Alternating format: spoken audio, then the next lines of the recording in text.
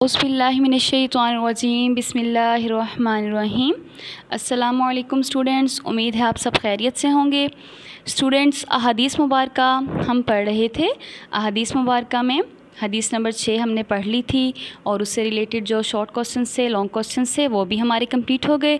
और आज भी हमने कल के लेक्चर में हदीस नंबर सात पढ़ी। हदीस नंबर सात का क्या तर्जमा था? उम्मीद है आप सबने उसको अच्छे से याद किया होगा, उसके मफहम को भी और उसके तशरी को भी अच्छे से समझा होगा और याद किया होगा और इन उस पर अमल करने की आप लोगों ने ज़रूर कोशिश भी की होगी।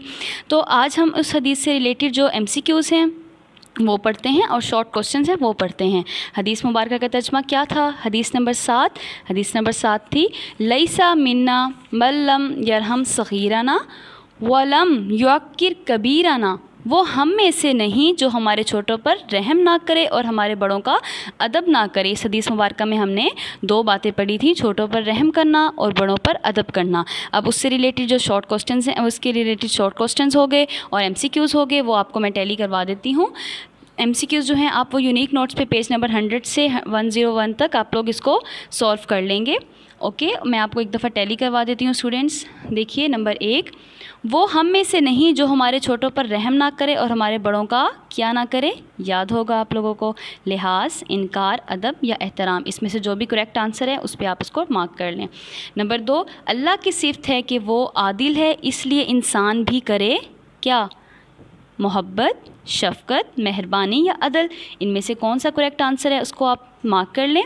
नंबर थ्री रहम के ज़्यादा हकदार हमेशा हुआ करते हैं। रहम के ज़्यादा हकदार हमेशा कौन होते हैं? छोटे, बड़े, बूढ़े या जवान। इनमें से जो भी करेक्ट आंसर है उसको आप मार्क कर लें। नंबर फोर अल्लाह ताला की सबसे गालिब सिफत है रहम करना, भलाई करना, माफ़ करना या ये तीनों। ठीक है? इनमें से देख लें। आप लोगों ने हदीस मुबारक की तशरी में मैंने आपको फ़र्स्ट में ही पढ़ाया था कि अल्लाह ताला की कौन सी गालिब सिफत है। ठीक है, नंबर फाइव देखिएगा। बड़े आम तौर पर हकदार होते हैं। हदीस मुबारक का तर्जमा है, आपको अच्छे से आना चाहिए। नंबर एक, मोहब्बत के। नंबर दो, इज़्ज़त व तकरीम के। नंबर तीन, शफ़क़त के। और नंबर चार, मेहरबानी के। इनमें से जो भी करेक्ट आंसर है, आप उसको मार्क कर लें। नंबर सिक्स देखिएगा अशरफुलमखलूक़ात होने के नाते इंसान को मज़हर होना चाहिए। इंसान अशरफुलमखलूक़ात है तो किस चीज़ का इजहार उसको करना चाहिए? अल्लाह की सिफ़ात का, फ़रिश्तों की सिफ़ात का, परिंदों की आदात का या कायनात की सिफ़ात का? आपको इस हदीस मुबारक से जो है वो समझ आ गई होगी कि हमें किस किस सिफ़ात पर जो है वो अमल करना चाहिए। नंबर सेवन देखिएगा, बच्चों को मुनासिब तालीम और तरबियत से महरूम रखना, उन्हें महरूम करना है। किससे महरूम कर रखना है? शफ़क़त से, इंसाफ से, एहतराम से या नफ़रत से? करेक्ट आंसर को आप मार्क कर लें। नंबर एट, अशरफ़ अशरफुलमखलूक़ात हैं। अशरफुलमखलूक़ात अल्लाह ने किसको बनाया है? परिंदे को, फ़रिश्ते को, जन्नात को या इंसान को? ये इससे रिलेटेड हदीस से एट एम सी क्यूज़ थे आपको टैली करवा दी हैं। इसके करेक्ट आंसर पे आप लोग मार्क कर लेंगे। अब हम चलते हैं इसके शॉर्ट क्वेश्चन की तरफ़। शॉर्ट क्वेश्चन नंबर वन देखिएगा। हदीस मुबारक का तर्जमा लिखना है लईसा मिन्ना मल्लम यरहम सग़ीराना वलम यकीर कबीराना। वो हम में से नहीं जो हमारे छोटों पर रहम ना करे और हमारे बड़ों का एहतराम ना करे। सवाल नंबर दो, देखिएगा। नबी सल्लल्लाहु अलैहि वसल्लम ने माशरे में बाहमी एहतराम को क्या अहमियत दी? या क्वेश्चन इस तरह भी हो सकता है कि बड़ों के एहतराम से मुतलिक हदीस का मतन लिखिए। मतन का मतलब तर्जमा लिखिए। अब रसूल सल्लल्लाहु अलैहि वसल्लम ने माशरे में बाहमी एहतराम और मोहब्बत को बहुत अहमियत अहमियत दी है और फरमाया, वो हम में से नहीं जो हमारे छोटों पर रहम ना करे और हमारे बड़ों का एहतराम ना करे। देखिए, मोहब्बत की अहमियत का अंदाज़ा होता है कि वो हम में से नहीं है जिसने हमारे छोटों पर रहम ना किया। अब छोटे कौन हैं? या तो वो उम्र के लिहाज से भी छोटे हो सकते हैं या फिर मरतबे के लिहाज से भी छोटे हो सकते हैं। तो उन पर शफकत करना हमारा फ़र्ज़ है। और बड़े कौन हैं? बड़े उम्र में भी बड़े हो सकते हैं और मरतबे में भी बड़े हो सकते हैं। तो हमें उनका एहतराम करना हम पर लाजिम है। सवाल नंबर तीन देखिएगा। हदीस नबी सल्लल्लाहु अलैहि वसल्लम की रूह से रहम और इज़्ज़त तकरीम के हकदार कौन होते हैं? आपने हदीस मुबारक के तर्जमे में पढ़ा था कि हदीस नबी की रूह से रहम के हकदार छोटे होते हैं, जबकि इज़्ज़त और तकरीम के हकदार कौन होते हैं? वो बड़े होते हैं। सवाल नंबर चार देखिए, कौन लोग नबी अलैहि वसल्लम के साया शफ़क़त से महरूम रहेंगे?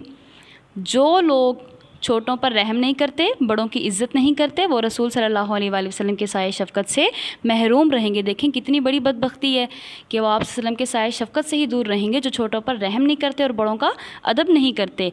सवाल नंबर पाँच देखिएगा। बच्चों पर रहम के बारे में एक हदीस का तर्जमा लिखिए। बच्चों पर रहम के बारे में हदीस मुबारक का तर्जमा आपने पढ़ा है। वो हम में से नहीं, जो हमारे छोटों पर रहम ना करे और हमारे बड़ों का एहतराम ना करे। सवाल नंबर छः देखिएगा। हदीस मुबारक की रूह से अल्लाह ताला की दो सिफ़ात लिखें। अल्लाह ताला की दो सिफ़ात कौन सी है? सबसे गालिब सिफ़ तो अल्लाह ताला की रहम करना है और नंबर दो, दरगुज़र करना। रहम करना और दरगुज़र करना, ये अल्लाह ताला की दो गालिब सिफ़ात हैं। अल्लाह ताला की बहुत बेशुमार सिफ़ात है, लेकिन सबसे गालिब सिफ़ात उनमें से कौन सी है? रहम करना है। सवाल नंबर सात देखिएगा, बच्चों के साथ जुल्म क्या है? बच्चों के साथ जुल्म ये है कि उनकी तालीम तरबियत के बजाय उन्हें छोटी सी उम्र में जिस्मानी मुशक्क़त के कामों में लगा दिया जाए, यानी उन्हें तालीम और तरबियत देने के बजाय उन्हें मजदूरी पे लगा दिया जाए। इसलिए हमारे लिए ज़रूरी है कि हम बच्चों की मुनासिब तालीम और ज़रूरी तरबियत का फ़र्ज़ पूरा करें। ये हमारे फ़राइज़ में से है कि हम बच्चों को अच्छी तालीम दें, अच्छी तरबियत दें, ना कि उन्हें छोटी सी उम्र में जिसमा, जिसमानी मुशक्क़त के कामों में लगा दिया जाए।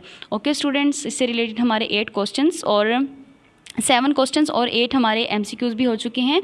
इसको आप लोग अच्छे से याद कर लेंगे। स्टूडेंट्स अल्लाह ताला हम सबको इस हदीस पर अमल करने की तोफ़ी अता फ़रमाए। अपना ख्याल रखिएगा स्टूडेंट्स अल्लाह हाफिज़। फ़ी अमान